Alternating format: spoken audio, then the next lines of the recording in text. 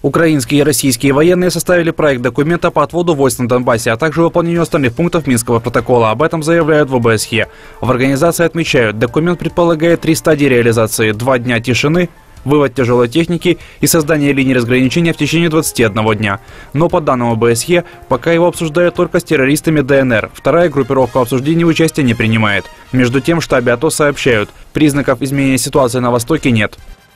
Ситуація в районі проведення антитерористичної операції залишається вкрай складною. Бойовики продовжують обстрілювати позиції українських військовослужбовців, ведуть вогонь по блокпостам, опорним та спостережним пунктам. Використовують при цьому міномети, е, артилерійські системи, реактивні системи залпового вогню БМ-21 «Град».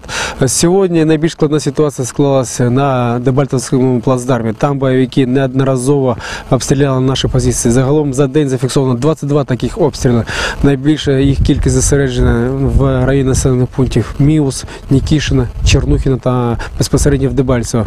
Внаслідок обстрілу ми маємо втрати. Сили антитерористичної операції в свою чергу наносять точечні вогневі удари по скупченню живої сили та бронетехніки бойовиків, а також по вогневим точкам бойовиків. Ми використовуємо свою артилерію для того, щоб знищувати ці вогневі точки та скупчення особового складу бойовиків. Украина недополучила от Донбасса 4 миллиарда гривен в виде налогов. При этом занятые боевиками земли снабжаются газом и электричеством за счет средств, которые зарезервированы на соцвыплаты для этих территорий. Об этом заявил премьер-министр Украины Арсений Яценюк. Війна вбиває людей, війна вбиває економіку. І російська військова агресія знищує економіку, яку вкрай складно відновити. Ви бачите, що відбувається на Донбасі. Шахти розбомбили, вугілля немає. Залізницю розбомбили, у нас впали неймовірним розміром обсяги транспортування і доходи Укрзалізниці. Ми не отримали доходів з Донецька і Луганська вже зараз 4 мільярди гривень. Кажуть, ви знаєте, от давайте відключити газ і електроенергію. Замерзнуть. Помирають. Не по-людськи це. Там наші люди, там старші люди. Але є інша сторона цієї медалі, і я відверто зразу заявляю, що ми не можемо виплачувати пенсії, заробітні плати і соціальні пільги в Донецьк і Луганськ, так як там російські терористи повністю відберуть всі гроші. Рабочий вариант коалиционного соглашения обнародован на сайте блока Петра Порошенко. Документ уже вторую неделю разрабатывают представители Народного фронта, блока Петра Порошенко, самопомощи, Батьковщины и Радикальной партии. Напомним, ранее представитель объединения «Самопомощь» Анна Габко сообщила, после обнародования проекта соглашения о намеченных реформах будут согласовываться вопросы регламента, права позиции, сотрудничества между политическими силами. Полный текст коалиционного соглашения планируется подготовить до середины следующей недели.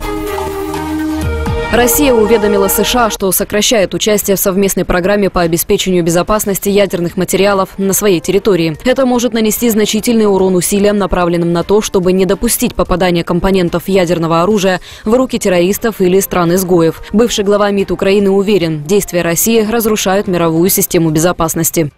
На мою думку, е, такої системи не було. На мой взгляд, такой глобальной системы безопасности не существовало, были иллюзии. Агрессия России против Украины окончательно похоронила эту систему.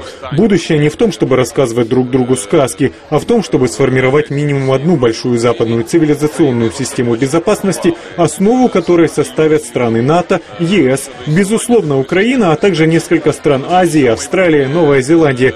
Американский конгрессмен Уильям Китинг уверен, Конгресс окажет всю необходимую помощь. Uh,